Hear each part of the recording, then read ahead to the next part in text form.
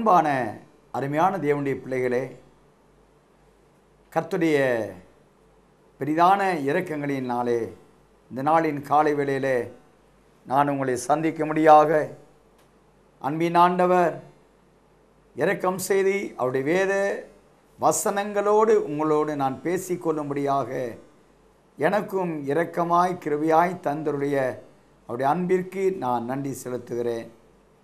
அருமையான தேவனுடைய பிள்ளைகளே இந்த நாட்களிலே நம் அன்பின் ஆண்டவருடைய வருகை குறித்து எங்கும் பிரசங்கிக்கப்படுகிறது பிரஸ்தாபிக்கப்படுகிறது அவரால் முன் அடையாளங்களாக நிறைவேற்றப்படும்படியாக தீர்க்க தரிசனங்களாக உரைக்கப்பட்ட யாவும் நிறைவேறி முடிந்த நிலையிலே அன்பின் ஆண்டவருடைய வாக்குத்தத்தங்கள் எல்லாம் ஒன்றும் குறைவுபடாமல் எல்லாம் நிறைவேறி முடிந்த நிலையிலே அவரை எதிர்பார்த்து காத்து கொண்டிருக்கிற தேவனுடைய பிள்ளைகளாகிய நாம் அவருக்குள்ளானவர்களாக நாம் பூரண பரிசுத்தவத்திலும் எல்லாவற்றிலும் அவருக்கு ஏற்றவர்களாக அவருக்கு உரியவர்களாக வாழ்ந்து அவர் வரும்போது அவர் இருக்கிற வனமாக நாம் அவரை தரிசிக்க அவர் இருக்கின்ற சாயல் ரூபம் மகிமை யாவற்றினாலும் நிரப்பப்பட்டவர்களாய் காணப்பட வேண்டுமென்று அன்பின் ஆண்டவர் நம்மில் எதிர்பார்க்கிறார். அதற்கு மாறாக வாழ்கின்றவர்கள் வெளியரங்கமான நிலையிலே அவர்கள் கிறிஸ்துவை சார்ந்து கொண்டவர்களாக கிறிஸ்துவின் உடையவர்களாக வாழ்ந்தாலும் ஆண்டருடைய கட்டளைகளின்படி சமாதானத்தின் தேவன் தாமே உங்களை முற்றிலும் பரிசுத்தமாக்குவாராக என்று சொல்கிறார். உங்களை முற்றிலும் பரிசுத்தமாக்குவாராக என்று சொல்கிறார். ஆனபடினாலே ஆண்டவர் வருகையிலே ஆவி ஆத்மா சரீரம் முழுமையிலும் பரிசுத்தமுள்ளவராக காணப்பட நம் ஆண்டவனமில் எதிர்பார்க்கிறார்.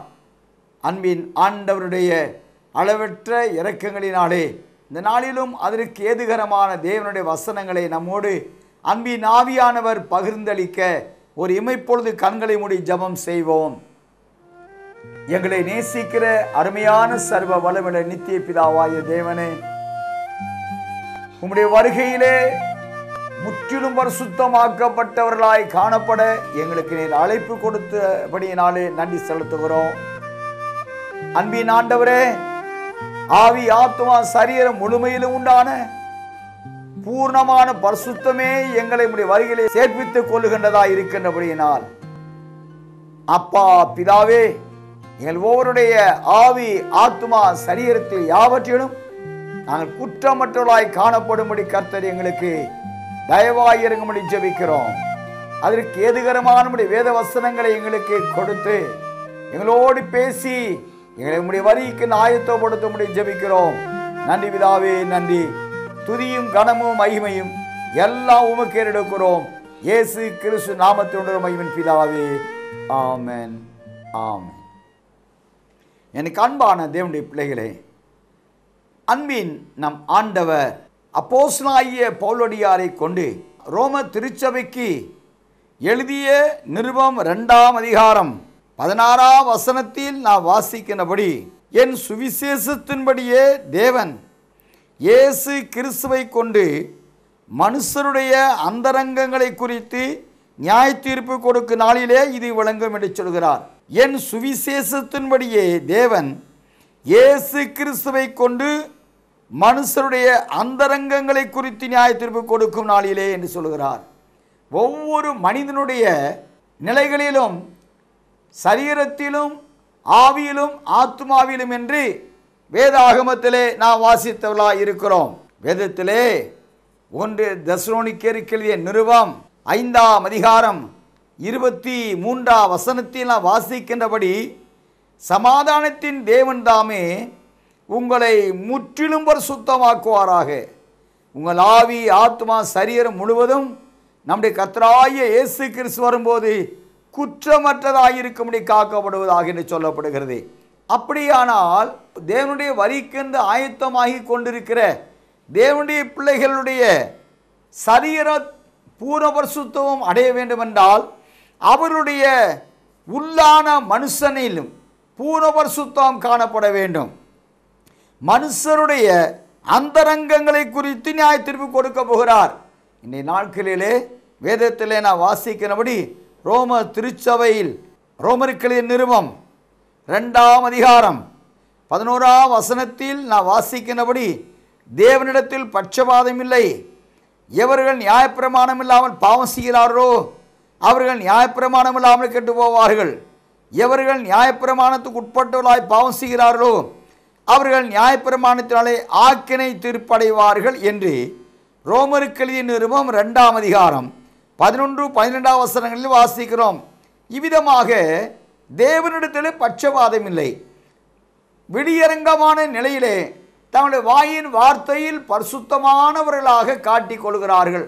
ஆனால் அந்தரங்கமான ஜீவியத்திலோ நியாயபுரமான காலத்தில் வாழ்ந்தவர்களாக இருந்தாலும் சரி மனசாட்சியின் காலத்தில் வாழ்ந்தவர்களானாலும் சரி அல்லது இந்த கிருபியின் காலத்தில் வாழ்ந்து கொண்டிருக்கின்றவர்களானாலும் சரி வெளியரங்கமான தோற்றத்தில் அன்றைக்கு கிரேக்கர்களும் யூதர்களும் வெளியரங்கமான நன்மைகளை செய்து அவருடைய உள்ளார்ந்த ஜீவியமோ தேவனால் கொடுக்கப்பட்ட பிரமாணங்களுக்கும் அவருடைய கட்டளை கற்பனைகளுக்கும் தூரமாய் போயிற்று. ஆனபடினாலே ஆண்டவர் ரோமாபுரி எழுதிய நிருபத்தில் அவர் என் சுவிசேஷத்தின்படி என்று சொல்கிறார். கிருபையின் கால நற்செய்தியாக சொல்லப்படுகிறதாவது தேவன் இயேசு கிறிஸ்துவை கொண்டு மனுஷருடைய அந்தரங்கங்களை குறித்து நியாயந்திருக்க போகிறார். இந்த சத்தத்தை கேட்டுக்கொண்டிருக்கிற அருமையான தேவனுடைய பிள்ளைகளே மனுஷனுடைய அந்தரங்கங்களில் இருக்கக்கூடிய ஒவ்வொரு கிரியலுக்கு தக்கதான நியாய தீர்ப்பை தேவன் கொடுக்க போகிறதாகவே நாம் அறிய முடிகிறது. பொதுவாக வேதாகமமானது நியாய தீர்ப்பிலே ஆரம்பித்து நியாய தீர்ப்பிலே முடிகிறதாக இருக்கிறது. வேதாகமத்திலே ஆதியாகமத்தில் நாம் வாசிக்கின்ற பொழுது ஆதியாகமம் மூன்றாம் அதிகாரம். பதிமூன்றாம் வசனம் முதல் பத்தொன்பதாம் வசனமுடைய வாசிக்கின்ற பொழுது முதலாவது நியாய திருப்பு உண்டாயிற்று என்று நாம் அறிய முடிகிறது. பின்பு வெளிப்படுத்தின விசேஷம் இருபதாம் அதிகாரம் பதினோராம் வசனம் முதல் பதினைந்தாம் வசனமுடைய வாசிக்கின்ற பொழுது இங்கே பெரிய வெள்ளை சிங்காசன நியாய தீர்ப்பு உண்டாயிருக்கிறது என்று நாம் அறிய முடிகிறது. அப்படியானால் அருமையான தேவனுடைய பிள்ளைகளே வேதாகம முழுமையிலும் ஆண்டவருக்குள்ளான புறம்பான மனுஷனில் ஆனாலும் சரி உள்ளான மனிதனின் கிரியைகள் ஆனாலும் சரி உள்ளான மனிதனுடைய கிரியைகளும் அல்லது அந்தரங்கமான ஆவிக்குரிய உள்ளான மறைந்திருக்கக்கூடிய மனுஷனின் கிரியைகள் ஆனாலும் சரி வெளியரங்கமான மனிதனுடைய கிரியைகள் ஆனாலும் சரி அவர்கள் எல்லாவற்றிலும் பரிசுத்தலாக காணப்பட வேண்டும். இல்லாவிட்டால் அவர்கள் நியாயந்திருக்கப்படுவது உறுதி என்று நாம் அறிய முடிகிறது. இவரேருக்கிளிய நிறுவம் ஒன்பதாம் அதிகாரம் இருபத்தி ஏழாம் வசனத்தில் நாம் வாசிக்கின்ற பொழுது அன்றியும் ஒரே தரம் மறிப்பதும் பின்பு நியாய திருப்பு அடைவதும் மனுஷருக்கு நியமிக்கப்பட்டிருக்கிறது என்று வாசிக்கிறோம். ஒரே தரம் மறிப்பது மனிதனாக வாழ்கின்றவர்கள் வாழ்ந்து அவர்களுடைய வாழ்க்கையின் இறுதியிலே ஒரே தரம் மறிப்பது ஆக மனிதனுக்கு மரணம் என்பது நியமிக்கப்பட்டிருக்கிறது. ஒருவேளை பரிசுத்தவான்களாக வாழ்ந்தவர்களாக இருப்பாரானால் அவர்கள் கிறிஸ்துவுக்குள்ளாக நித்திரை அடைந்து அவர்கள் இலைப்பாரி கொண்டிருப்பார்கள் என்று வேதத்தின் வழியாக நாம் அறிய முடிகிறது. ஆனபடினால் எப்படியும் மனிதனான ஒவ்வொருவருக்கும் மறிப்பதும் பின்பு அவர்கள் மனிதனாக வாழ்ந்த காலத்தில் செய்த ஒவ்வொரு கிரியலுக்கு தக்கதான நியாயத்திருப்பு அடைவது மனிதனுக்கு நியமிக்கப்பட்ட காரியமாக இருப்பதாகவே நான் வேதத்தின் மூலமாக அறிய முடிகிறது. அருமையான கர்த்தரி பிள்ளைகளே வேதாகமத்திலே அன்பின் ஆண்டவர் பல இடங்களிலே நான் வாசிக்கிறபடி அன்பின் ராஜாதி ராஜா அவர் நியாயாதிபதியாக அவர் மனுஷனை நியாய்ந்திருக்க போவதாகவே நாம் அறிய முடிகிறது. வேதாகமத்திலே அப்போஸ் நடவடி புஸ்தகம் பத்தாம் அதிகாரம் நாற்பத்தி ரெண்டாம் வசனத்தில் நாம் வாசிக்கின்றபடி அன்றியும் அவரே உயிரோடு இருக்கிறவர்களுக்கும் மறித்தோர்களுக்கும் தேவனால் ஏற்படுத்தப்பட்ட நியாயாதிபதி என்று ஜனங்களுக்கு பிரசங்கிக்கவும் சாட்சியாக ஒப்புவிக்கவும் அவர் எங்களுக்கு கட்டளையிட்டார் என்று நாம் அறிய முடிகிறது. அருமையான கர்த்தருடைய பிள்ளைகளே அவரே என்றால் இயேசு கிறிஸ்துவை உயிரோடு இருக்கிறவர்களுக்கும் மறித்தோர்களுக்கும் தேவனால் ஏற்படுத்தப்பட்ட நியாயாதிபதி என்று சொல்லப்படுகிறது. ஆனபடியா கர்த்தருடைய பிள்ளைகளே இந்த சத்தத்தை கேட்டுக்கொண்டிருக்கிற தேவஜனமே நீங்கள் யாராயிருந்தாலும் சரி நீங்கள் செய்கிற ஒவ்வொரு கிரிகளுக்கும் உரிய நியாயத்திருப்பு உண்டு. நீங்கள் ஒருவேளை ஆண்டவரை ஏற்றுக்கொண்டு பரிசுத்தமாய் வாழ்வீர்களானால் ஆண்டவராய் இயேசு கிறிஸ்துவின் ரகசிய வருகையை அவரோடு சேர்ந்து கொண்டு நித்திய நித்தியமாய் ஆண்டவரோடு வாழக்கூடிய சிலாக்கியத்தை பெற்றுக்கொள்வீர்கள். அப்படி இல்லாவிட்டால் உங்களுடைய அந்த வெளியரங்கமான தோற்றத்திலே நீங்கள் கிறிஸ்தவர்களாக வாழ்ந்து கொண்டு அந்தரங்கமான வாழ்க்கை முழுவதும் பாவமும் அக்கிரமும் அநியாயமும் வஞ்சகமும் நிறைந்த ஒரு மறைவான வாழ்க்கை வாழ்ந்து கொண்டிருப்பீர்களானால் அருமையான தேவனுடைய பிள்ளைகளே கர்த்துடைய சன்னிதானத்திலே நான் நீங்கள் நியாயந்திருக்கப்படுவது உறுதி என்பதை நீங்கள் மறந்துவிட வேண்டாம் என்று உங்கள் சொல்ல நான் விரும்புகிறேன். அருமையான கர்த்துடைய பிள்ளைகளே வேதாகமம் முழுமையிலும் பார்ப்போம் என்றால் ஆண்டவராய் இயேசு கிறிஸ்து நியாய தீர்ப்பை வலியுறுத்துகிறதாக நாம் அறிய முடிகிறது. இந்த வேதத்திலே மனுஷர்களுக்கு ஏழு விதமான நியாய தீர்ப்பை கொடுக்க கர்த்தர் காத்து கொண்டிருக்கிறதாக நாம் அறிய முடிகிறது. ஏற்கனவே நியாய தீர்ப்பு கொடுத்து கொண்டும் இருக்கிறார். இறுதியாகும் நியாய தீர்ப்பு கூட காத்திருக்கின்றார். ஆக எப்படியும் மனுஷனுக்கு நியாய தீர்ப்பை கொடுக்கும்படியாக தேவன் காத்து கொண்டிருக்கிறார். பாவிகளானவர்களுக்கு அல்லது அந்தரங்கமான நிலைகளிலே பாவத்தோடு வாழ்ந்து கொண்டு மாய்மானமான கிறிஸ்தவர்களாக வாழ்ந்து கொண்டிருக்கின்றவர்கள். ஒவ்வொருவருக்கும் ஆண்டவர் அல்லது உலகத்தில் உள்ள எந்த ஒரு மனிதனுக்கும் அந்தரங்கமான வாழ்க்கையில் பாவ வாழ்க்கை வாழ்ந்து கொண்டு வெளியரங்கமான தோற்றத்தில் நல்லவர்களைப் போல சன்மார்க்கர்களைப் போல தானம் தர்மம் செய்கின்றவர்களைப் போல இருப்பார்களானால் யாவருமே நியாயம் தீர்க்கப்பட போகிறார்கள் என்பதை நாம் அறிய முடிகிறது. முதலாவதாக ஆண்டவர் ஆதியாகமம் மூன்றாம் அதிகாரம் பதிமூன்றாம் வசனம் முதல் பத்தொன்பது வசனங்களில் நாம் வாசிக்கின்றபடி ஆண்டவர் முதன் முதலாவது மனிதனுக்கு நியாய தீர்ப்பை கொடுத்ததாக நாம் அறிய முடிகிறது. காரணம் தேவனால் நியமிக்கப்பட்ட இந்த மனிதன் தேவனுடைய கட்டளைகளுக்கு கீழ்ப்படியாமை நிமித்தமாக இவன் தேவனுடைய பிரமாணத்தை மீறி விளக்கப்பட்ட கனியை பறித்து புசித்தபடியினால் இவன் தேவனுடைய சன்னிதானத்திலே இவனும் அந்த கனியை புசிக்க யாரெல்லாம் சம்பந்தப்பட்டவர்களாக இருந்தார்களோ அவர் அனைவரும் ஆண்டவருக்கு முன்பாக வந்து நின்றார்கள். ஆண்டவருக்கு முன்பாக நின்ற பொழுது ஆண்டவர் கேட்கிறார் ஆதியாக மூன்றாம் அதிகாரம் பதினோராம் வசனம் முதல் நான் வாசிக்கின்ற பொழுது அப்பொழுது அவர் நீ நிர்வாணி என்று உனக்கு அறிவித்தவன் யார்? புசிக்க வேண்டாம் என்று நான் உனக்கு விளக்கின விருட்சத்தின் கனியை புசித்தாயோ என்றார் என்று பார்க்கிறோம். விளக்கப்பட்ட கனியை நீ புசித்தாயே. தேவனுடைய பிள்ளையே அன்பின் ஆண்டவரால் மனிதர்கள் புசிக்க வேண்டும் என்று அவரால் நியமிக்கப்பட்டது கனிகளை பறித்து புசிக்கும்படியாக என்று சொன்னார். இந்த தோட்டத்தில் உள்ள அதிகாகமும் இரண்டாம் அதிகாரம் பதினாறாம் வசனத்தில் வாசிக்கிறோம். தேவனாய கர்த்தர் மனுஷனை நோக்கி நீ தோட்டத்தில் உள்ள சகல விருட்சத்தின் கனியையும் புசிக்கவே புசிக்கலாம் என்று சொன்னார். மனிதனுக்கு ஆகாரமாக ஆண்டவரால் கொடுக்கப்பட்டது கனிவர்க்கம் காயல்ல பிஞ்சு அல்ல பூ அல்ல கனிவர்க்கங்களை புசிக்க தேவன் இறக்கம் செய்தார். அந்த கனிவர்க்கங்களை இவன் புசித்து ஆண்டவரோடு என்றென்றைக்கு வாழ்ந்ததாக நாம் அறிய முடிகிறது ஆதியாகம் மூன்றாம் அதிகாரம் எட்டாம் வசனத்தில் பகலில் குளிர்ச்சியான வேளையிலே தோட்டத்தில் உலாவுகிற தேவனாயி கத்துடைய சத்தத்தை அவர்கள் கேட்டார் என்று பார்க்கிறோம். அருமையான கத்துடைய பிள்ளைகளே இவர்கள் விளக்கப்பட்ட கனியை பறித்து புசிப்பதற்கு முன்பாக வரைக்கும் தேவனுடைய கட்டளைகளுக்கு கீழ்ப்படிந்தவர்களாய் தேவனால் புசிக்க அனுமதிக்கப்பட்ட நல்ல விருட்சத்தின் கனியை இவர்கள் பறித்து புசித்து ஜீவ விருட்சத்தின் கனியை இவர்கள் பறித்து புசித்து வாழ்ந்தவர்களாக இருந்தார்கள் ஆனால் இவர்கள் பொல்லாத பிசாசானனுடைய வஞ்சக வார்த்தைக்கு செவி கொடுத்து கீழ்ப்படியாத பாவம் செய்தார்கள் என்று நாம் அறிய முடிகிறது.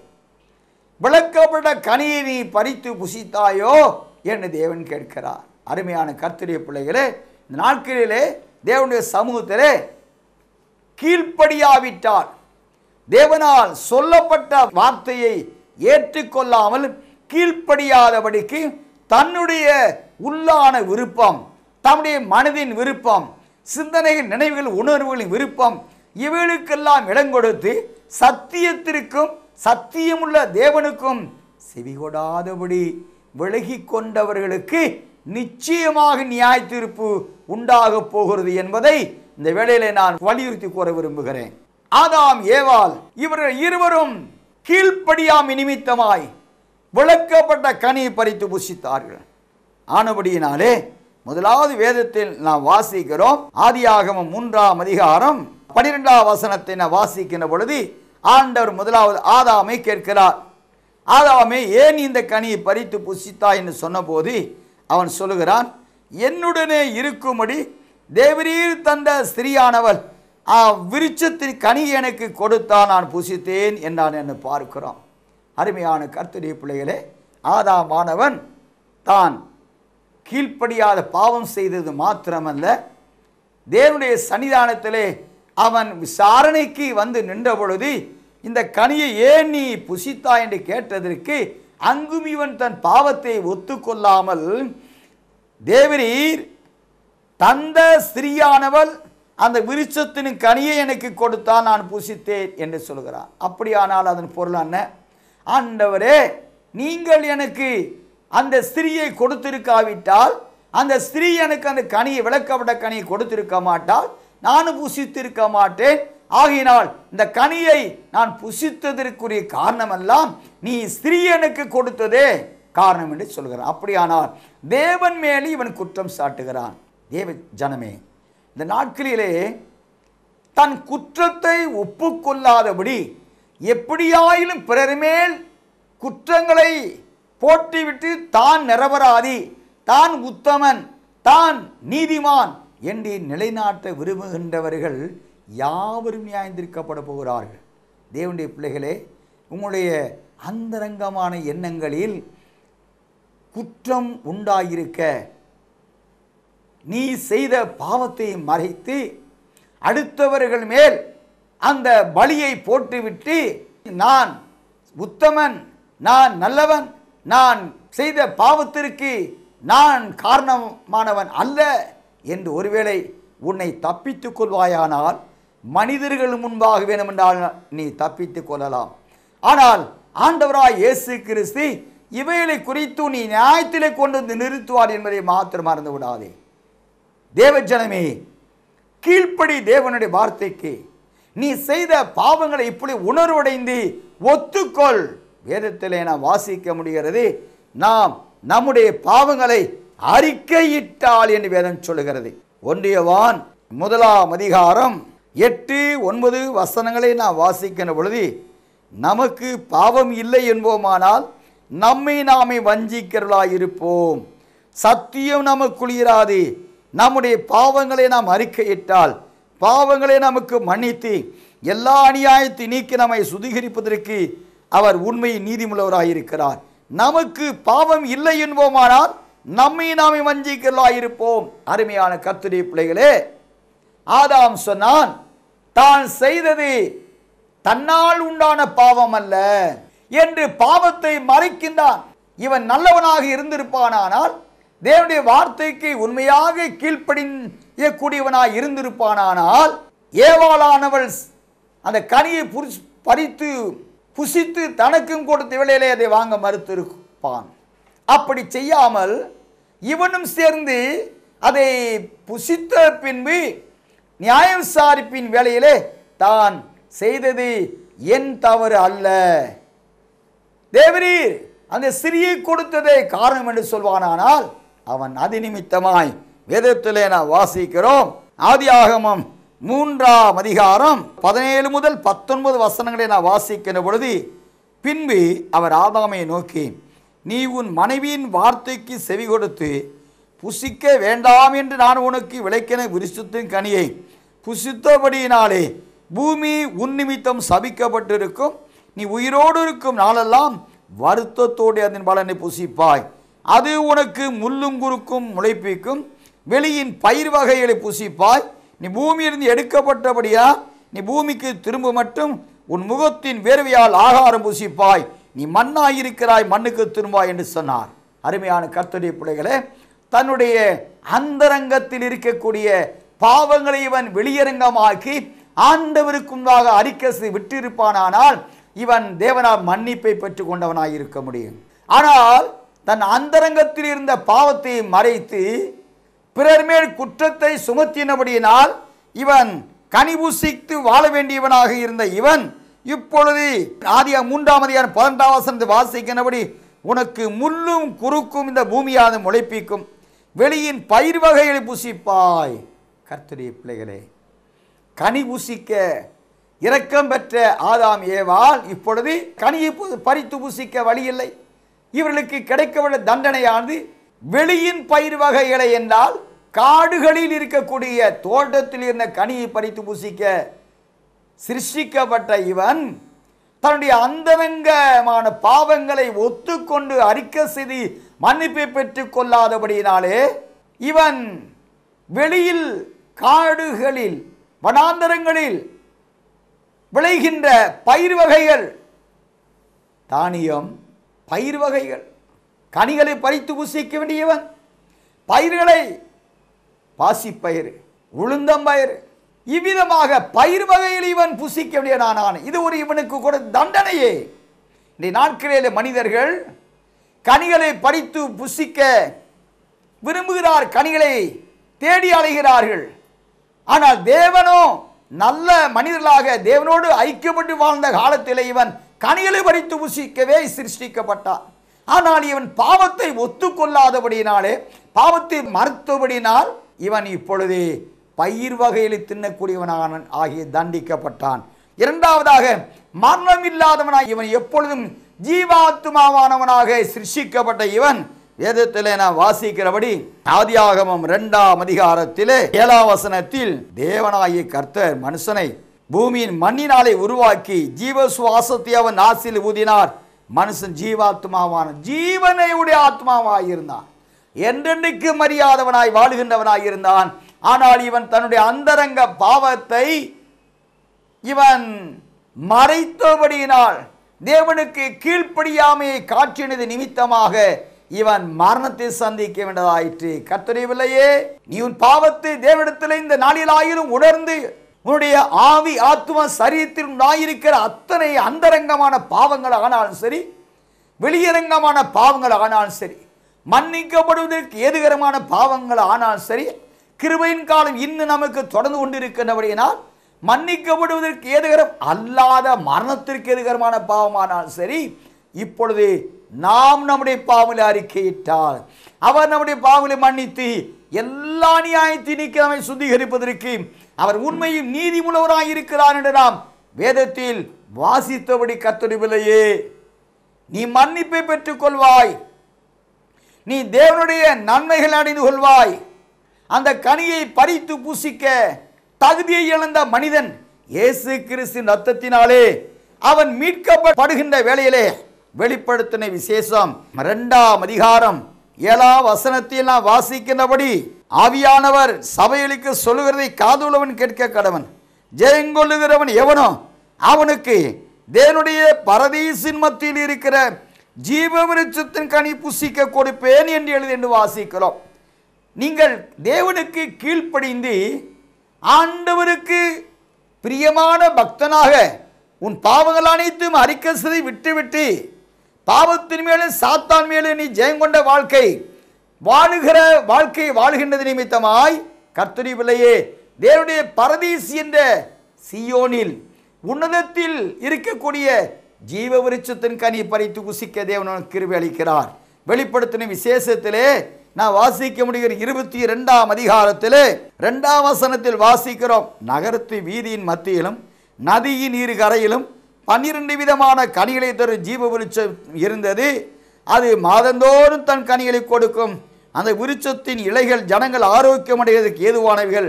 இப்பொழுது கிருபையின் காலமாகிய இந்த நாட்களிலே நம்முடைய பாவங்கள் அனைத்தையும் அந்தரங்கமான பாவங்களானாலும் சரி எந்த நிலையில் நான் இருப்போமானால் அவைகள் அனைத்தையும் அறிக்கை செய்து இயேசு கிறிஸ்து ரத்தத்தால் பாவ மன்னிப்பை பெற்றுக் கொண்டவர்களுக்கு தேவனுடைய வருகையிலே அவர்கள் தேவனோடு சேர்ந்து கொண்டு எப்பொழுதும் ஜீவ விருட்சத்தின் கனி புசிப்பதற்கு தேவன் அவர்களுக்கு இறக்கம் செய்கிறார். மாதந்தோறும் தன் கனியை கொடுக்கும் இந்த விருட்சங்களும் அதை ஜெயங்கொண்டவர்கள் அந்த கனியை பறித்து அவர்களுக்கு புசிப்பதற்கு தேவன் கொடுப்பதாக வாக்கு பண்ணி இருக்கிறார் அருமையான கத்திரி பிள்ளையே வேதாகமத்திலே நான் வாசிக்கின்றபடி ஒன்று சாமுவேலின் புஸ்தகம் பதினைந்தாம் அதிகாரம் இருபத்தி ரெண்டு இருபத்தி மூன்றாம் வசனங்களை வாசிக்கின்றபடி அதற்கு சாமுவேல் கர்த்துடைய சத்தத்திற்கு கீழ்ப்படுகிறதை பார்க்கிலும் சர்வாங்க தகனங்களும் பலிகளும் கர்த்தருக்கு பிரியமாயிருக்குமோ?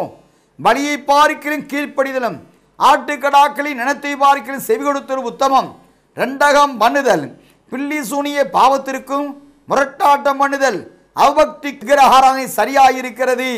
நீர் கர்த்துடைய வார்த்தை புறக்கணித்தபடியினாலே அவர் உமை ராஜாவாயிராதபடி புறக்கணித்து தள்ளினார் என்றார் என்று சாமி எழுந்திருக்க தரிசி சவுளை பார்த்து சொன்னதாக வாசிக்க முடிகிறது. அருமையான கர்த்தரி பிள்ளைகளே இங்கே சவுல் ராஜாவாக்கப்பட்டான் தேவனால். ஆனால் தேவனுடைய வார்த்தைகளுக்கு இவன் கீழ்ப்படியாதபடினாலே ஆனால் கீழ்ப்படியாத அந்தரங்கமான பாவத்தை வைத்துக்கொண்டு தேவனுக்கு இவன் பலி செலுத்துகிறான். ஆராதனையில் பங்கு வருகின்றால் இவைகள் அனைத்தும் தேவனுக்கு விருப்பமாகிறாது நீ அந்தரங்கமான காரியம் அனைத்தையும் கீழ்ப்படிந்து உன் பாவனை அனைத்து தேவனிடத்திலே நீ அறிக்கை செய்து விட்டு விடுவாயானால் தேவன் உன்னை மன்னிப்பார். இந்த கிருவின் காலத்திலே நீ மன்னிப்பை பெற்றுக்கொண்டு நித்தியத்தை சுதந்திரித்துக் கொள்ள கர்த்தர் உன்னை அழைக்கிறார். அப்படி இல்லாதபடி நீ கீழ்ப்படியாதபடி உன் அந்தரங்கமான பாவத்தை மறைத்து கொண்டு பெயர் கிறிஸ்தவனாக நல்லவனை போல பரிசுத்தவானை போல நீ நடிப்பாயானால் மாயம் பண்ணுவாயானால் நிச்சயமாக நீ நியாய தீர்ப்பில் பங்கடைந்தே தீர வேண்டும் என்று சொல்லி தேவன் சொல்லுகிறார். அருமையான கத்திரி பிள்ளையே நீ கீழ்ப்படியாமையை காட்டி ரெண்டகம் பண்ணுவாயானால் நீ அந்த பாவம் நீ ஒரு புள்ளி சுண்ணியக்காரன் என்பதும் ஒரு முரட்டாட்டம் அணுகிறவன் என்பதும் ஒரு விக்கிரக ஆராதனைக்காரன் என்பதும் என்பதுமாக உன்னை நியாய்ந்திருக்கப் போகிறது. நீ கீழ்ப்படியாதமை நிமித்தமாய் ஆண்டவரை துக்கப்படுத்துகிற இந்த வாழ்க்கையினாலே மாய்மாடம் கிறிஸ்தவர்களாக மாயம் அணுகிற வாழ்க்கை வாழுகின்றவர்களாக இருக்கிறபடினாலே நீ கர்த்தருக்கு முன்பாக பில்லி சூனியம் செய்த பாவம் உன்னை சாரும். முரட்டாட்டம் அணிந்த பாவம் உன்னை சாரும். விக்கிரகத்தை வழிபடுகின்ற பாவனை சாரும். ஆனபடியால் நீ மனம் திரும்பி. நீ மனம் திரும்பு தேவஜனமே மனம் திரும்பு. மனம் திரும்பாவிட்டால் சர்வ வல்லருடைய வருகையிலே நியாய்ந்திருக்கப்பட போகிறாய். நியாய்ந்திருக்கப்பட்டு இரண்டாம் மரமாகிய அக்கினி கடலிலே தள்ளப்பட போகிறாயே. ஆனபடியினால் வேதத்திலே நான் வாசித்தபடி என் சுவிசேஷத்தின்படியே தேவன் இயேசு கிறிஸ்துவை கொண்டு மனுஷருடைய அந்தரங்கங்களை குறித்து நியாய தீர்ப்பு கொடுக்க போகிறார் என்று வேதம் சொல்லுகிறது. உன் அந்தரங்கமான பாவ வாழ்க்கை வெளிப்படுத்து. பூர்ண பரிசுத்தவத்தை பற்றிக்கொள். நித்திய வாழ்வை சுதந்திரித்துக் கொள்ள உன் ஆண்டவர் உன்னை அழைக்கிறார். தேவன் தாமே தமது வார்த்தைகளை ஆசீர்வதிப்பாராக ஜெபம் செய்வோம்.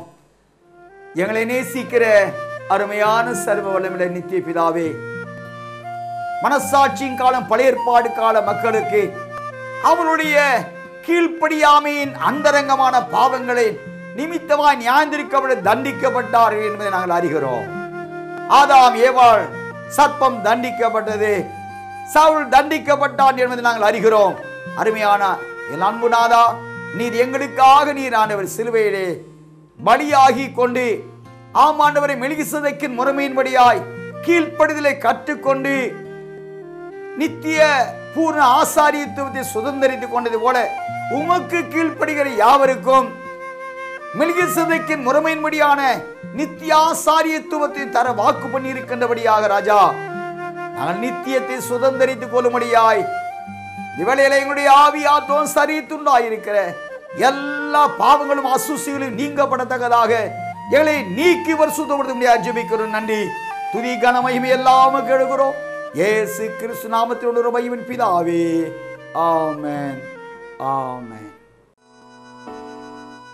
இலவச திருமண தகவல் தொடர்பு மையம் மறுபிறவின் ரெச்சிப்பை அடைந்த மணமக்கள் கீழ்காணும் விவரங்களுடன் எங்களை தொடர்பு கொள்ள உங்கள் முகவரி பெயர் பிறந்த தேதி தொலைபேசி எண்கள் உயரம் மற்றும் கல்வி தகுதி ஆகிய முழு விவரங்களை தெரிவிக்கவும்.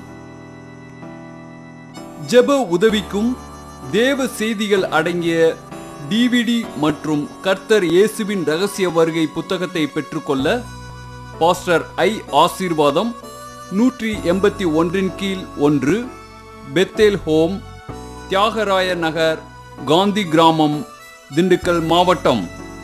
தபால் கட்டணம் அல்லாமல் புத்தகத்தின் விலை ரூபாய் நூறு. எங்களை தொடர்பு கொள்ள வேண்டிய தொலைபேசி எண்கள் பூஜ்ஜியம் நான்கு ஐந்து ஒன்று இரண்டு நான்கு ஐந்து இரண்டு ஒன்று ஆறு இரண்டு. மேலும் ஒன்பது நான்கு நான்கு மூன்று நான்கு ஆறு நான்கு ஒன்பது ஐந்து ஏழு. எங்களின் மின்னஞ்சல் pastor Asirvatham at HNJBC dot ORG இணையதளம் W W W dot HNJBC dot ORG தேவன் தாமே உங்களை ஆசீர்வதிப்பாராக. ஆமேன்.